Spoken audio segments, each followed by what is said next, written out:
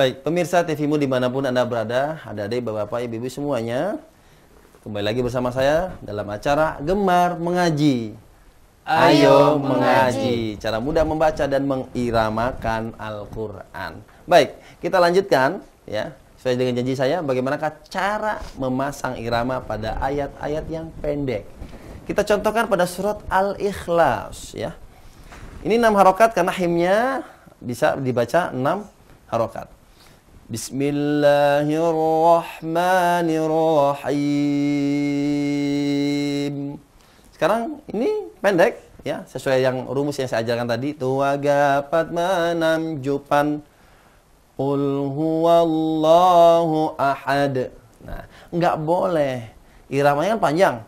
Qul huwallahu ahad. Nah, ini. Ini namanya melanggar tajwid, melanggar bacaan. Ayatnya pendek tapi dibaca panjang karena irama. Ini takaluf, memaksakan diri. Jadi, irama harus sesuai dengan a ayat keadaan ayatnya. Tua gapat manam jupan Allahu somad.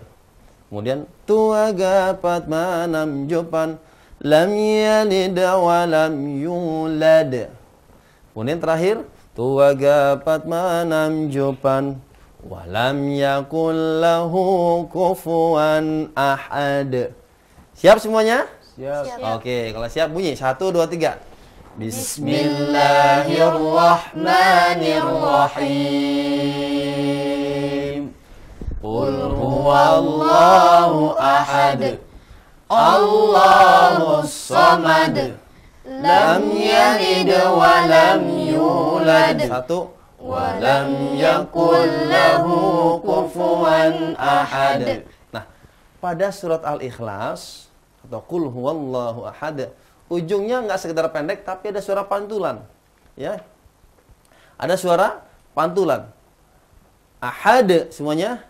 Ahad. Somad. Somad. Yulad. Yulad. Walam kufuwan ahad. Kufuwan ahad. Ahad. Ahad. Lam yalid. Lam yalid. Walam yulad. Walam yulad. Nah, diperhatikan ya. Kol, kolah bukan walam yulad, tapi yulad. Yulad. Dadi dubad. Dadi dubad. Pada pelajaran yang lalu, ya, saya mengajarkan bagaimana cara pembunyian huruf dal berbagai macam kondisi. Jadi dadi dubad semuanya. Dadi dubad. Ya, ahad sekali lagi. Ahad. Somad. Somad. Yalid. Yalid. Yulad. Yulad. Ahad. Ahad. Boleh dicoba ya. Sekarang eh, Dinda adik kita Ridho. Bismillah. Bismillahirrahmanirrahim. Satu. Qul huwallahu ahad. Hati-hati huwa bukan huwo.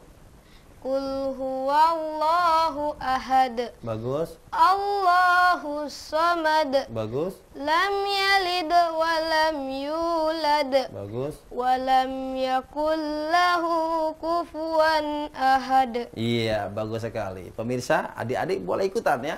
Silahkan, ini mudah sekali. Sekarang kita ada permainan sedikit ya. Bagaimana caranya? Yang satu membaca rumus, yang satu membaca ayat ya. Boleh sekarang ya. Eh, akhirnya Lutfi membaca rumusnya, Nazila membaca ayatnya. Siap? Siap. Siap ya, siap. Yuk, mulai. Tua gapat manam jupan. Bismillahirrahmanirrahim. Bagus. Pemirsa boleh ikutan. Tuh, dua, tiga. Tua gapat manam jupan. Hati-hati. Ya, ulang. Tua gapat manam jupan. Nah, Qul huwallahu ahad. lagi huwa. Qul Huwallahu ahad. Bagus. Tua gapat manam jupan. Allahu samad. Bagus. Tua gapat manam jupan. Bagus. lam yalid walam yulad Bagus. Tua gapat manam juhpan walam yakul lahu kufuwan ahad. Iya, bagus sekali ya. Sekarang ya kita pelajari makhorijul huruf. Tempat keluarnya huruf. huruf ya. Huruf waw. Wow. Huruf waw syaratnya adalah wajib monyong. Wa. Wa. Wawiwu bau. Wawiwu bau. Ya. Huruf bibir. Kemudian huruf dada. Ha. Ha. Ha. Ha. Hahi hubah. Hahi hubah. Oke, sekarang huruf ya. Ya. Ya. Yaitu. Yaitu. Ya. Yayiyubai. Yayiyubai. Kita baca dengan berbagai macam kondisi. Wawiwubau. Satu, dua, tiga. Wawiwu bau. Pemirsa jangan ragu-ragu. Mangapnya yang terbuka, nyengir yang nyengir. Monyongnya yang domanya yang monyong. U. Wawiwubau. Satu, dua, tiga. Wawiwu bau. Wu wau wani wauna. Satu tiga. Wau wani wauna. Minal muni. Minal muni. Umawi wau wani wa. Mawi wau wani wa. Saya baca. Wawi wu bau muni mawi wau wani wa. Itu dua tiga. Wawi minal muni mawi wau. Bagus sekali. Sekarang huruf ha. Ha. Mangap. Ha. Ha. Bukan mulutnya. Ha. Ha. Tuh dua tiga. Saya dulu. Hahi hubah. Hahi hubah. Huhan. Huhan. Hani hahna. Minal muhni. Minal muhni. Mahihan hani ha. Mahihan haniha. Kali iramakan. Hahi hubah. Hani hahna minal muhni mahihan haniha. Tuh dua tiga. Hahi hubah. Huhan hanihahna minal muhni mahihan. Ya, boleh dicoba sekarang? Ya. Wa. Nazila.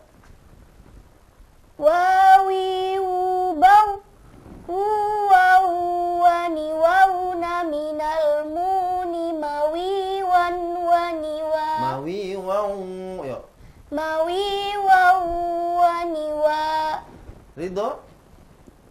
hahi hubah huhan hanihah na minal muhni mahihan haniha Baik, sekarang bagaimana cara melanjutkan uh, makhorijul huruf ini?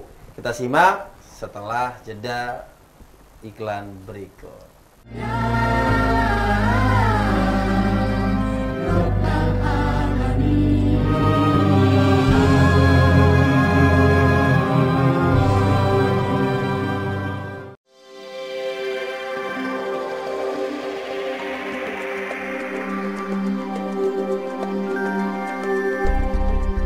Sesungguhnya telah kami mudahkan Al-Quran untuk pelajaran. Maka adakah orang yang mengambil pelajaran?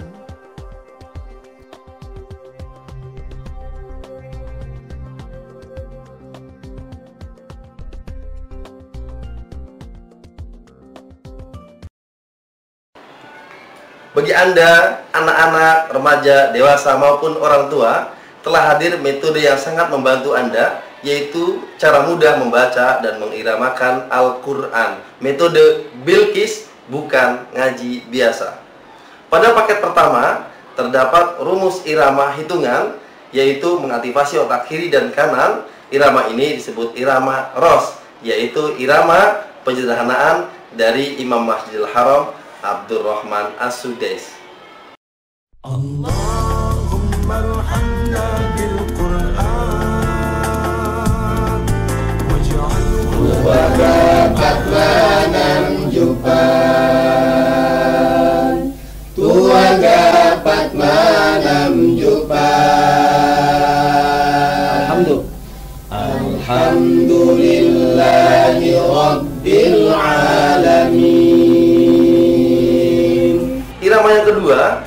irama yang sangat menarik sekali dan syahdu terdengar yaitu irama nahawan. Irama nahawan pun menggunakan rumus hitungan yaitu aktivasi otak kiri dan kanan. وأطراف النهار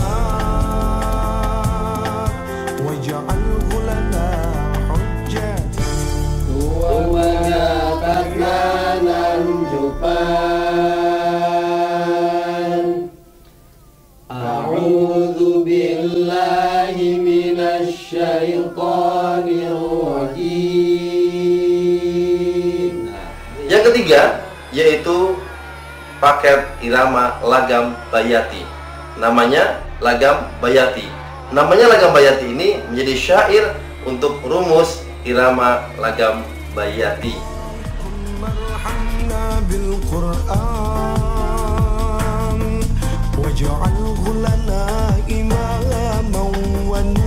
Di satu dua tiga namanya lagam. Yang pertama yang kedua Namanya lagam bayati. Dua tiga. Bayati. Audhu basmalah. Dua tiga. A'udzu billahi minasy Mirrajim datar agak tinggi Bismillahirrahmanirrahim